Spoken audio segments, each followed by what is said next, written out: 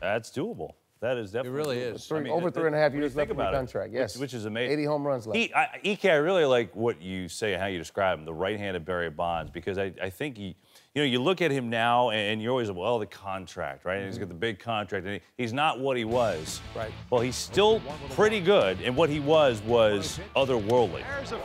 Well, and and that's the thing is we compare him to what he was, which again, Father Time, you know, make sure that that doesn't happen forever. Right. What he was for for 10 years. I mean, we talked about it the other night. You know, it's around 330. It's 40 some home runs, 120 some RBIs.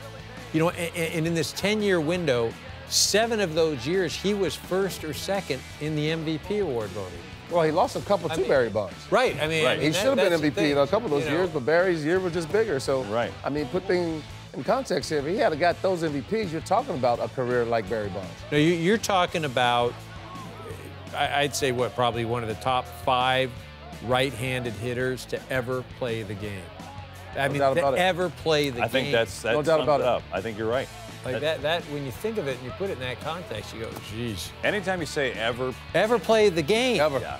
And I think, I think you're right there, EK. I really do. And think about this historical wise. Major Leagues now, four straight years, we've seen someone hit their 3,000 career hit milestone. That's never happened before. So we've, uh, we've, we've gotten used to this scene. The Pujols, eh, really cool stuff. Emotional.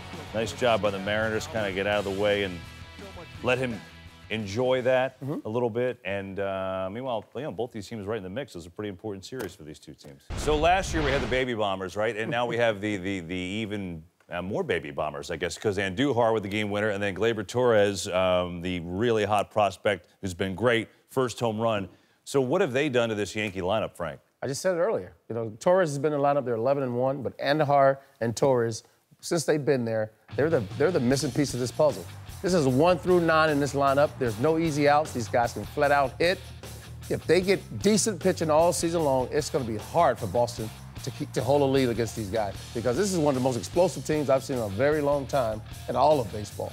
Well, a, a difficult team to face pitching wise, but I think these guys both bring a lot of energy. Mm-hmm. The, the youthfulness, the excitement of being in the big leagues. Andujar is a bit more of a free swinger. And again, he's got he's got a lot of extra base hits. I think 16 extra base hits.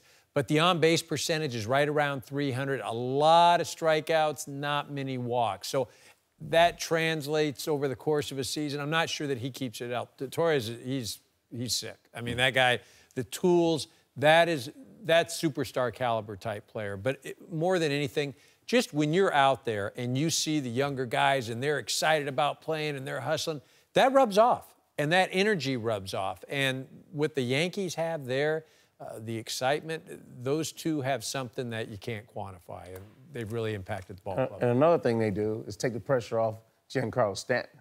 You know, earlier, every at bat, people were criticizing that he's not hitting a home run or whatever else. When you bring up two exciting young players like that, the focus changes a little bit. Mm-hmm. They, they realize they got a great team, and now Giancarlo can lock in and do what he does, and along with Aaron Judge, this is going to be a special. Summer. I haven't heard one thing about Aaron Judge. Exactly. He's, ha- he's having an, a terrific year, but there's so much else going on with the Yankees. I mean, it, It's going to be a crazy summer. I can feel it. you come off that year the Judge does, and it's like no pressure. It's the weirdest thing in the world playing in New York, but that's how it's gone.